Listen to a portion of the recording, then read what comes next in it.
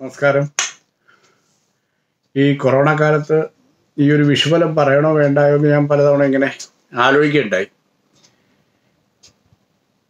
ഈ ദുരിതകാലത്താണ് നമ്മൾ ഇതിന്റെയൊക്കെ ഫലങ്ങൾ അറിയുകയും അതിനെക്കുറിച്ചൊക്കെ ചിന്തിക്കുകയും ചെയ്യുന്ന കാലഘട്ടം എന്ന് തോന്നിയത് കൊണ്ട് വിഷുഫലം പറയാം എന്നുള്ള ഒരു തീരുമാനത്തിലെത്തുകയും.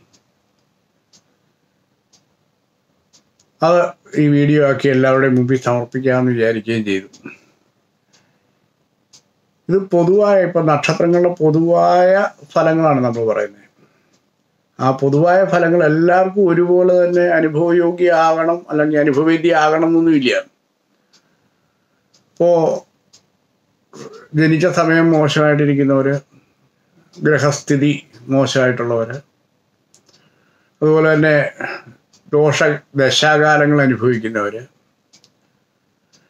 കണ്ടവ ശനി തുടങ്ങിയിട്ടുള്ള ദുരിതകാലങ്ങളിൽ കൂടെ പോകുന്നവർ അവർക്കൊന്നും ചിലപ്പോൾ ഇതിന്റെ ഒരു ഗുണങ്ങളോ ദോഷങ്ങളോ ഒക്കെ വേണ്ടെന്ന് അനുഭവിക്കില്ല. നമ്മൾ ഈ പറയുന്ന പോലെ തന്നെ ഫലിക്കണം എന്നൊന്നുമില്ല എന്നാൽ പൊതുവായിട്ട് ഇങ്ങനെയുള്ള ദോഷങ്ങളൊന്നും ഇല്ലാത്ത നല്ല ഗ്രഹസ്ഥിതിയൊക്കെ ഉള്ളവർക്ക് ഇതിന്റേതായിട്ടുള്ള ഉയർച്ചകളും ഉന്നതികളും ഒക്കെ ഉണ്ടാവും. മറ്റു ദോഷങ്ങളൊക്കെ ഉള്ളവർ അതിനുള്ള പരിഹാരങ്ങൾ ചെയ്തുകൊണ്ടാൽ ഈ ഫലങ്ങൾ നമുക്ക് കിട്ടാനും വഴിയുണ്ടെന്നർത്ഥം.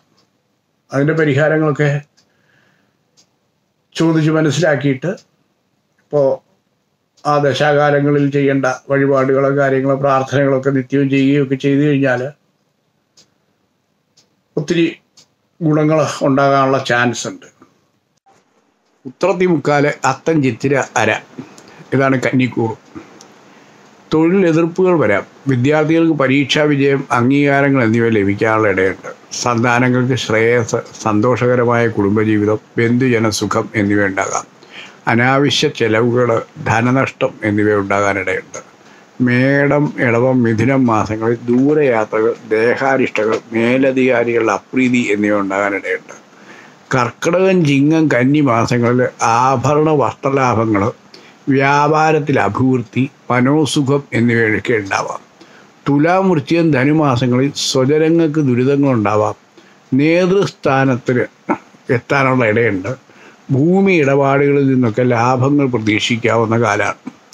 മകരം കുംഭം മീനം മാസങ്ങളിൽ അപ്രതീക്ഷിതമായിട്ടുള്ള ധനനഷ്ടങ്ങളൊക്കെ ഉണ്ടാവാം.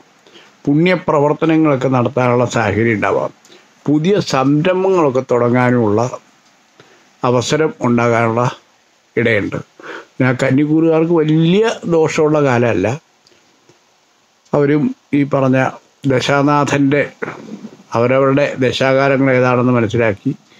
ആ ദുരിത ശമനം വരുത്തിക്കൊണ്ടാൽ വളരെ ഐശ്വര്യപ്രദമായിട്ടുള്ള ഒരു ജീവിതം അവർക്ക് ഈ വർഷം പ്രതീക്ഷിക്കാവുന്നതാണ്. നമസ്കാരം.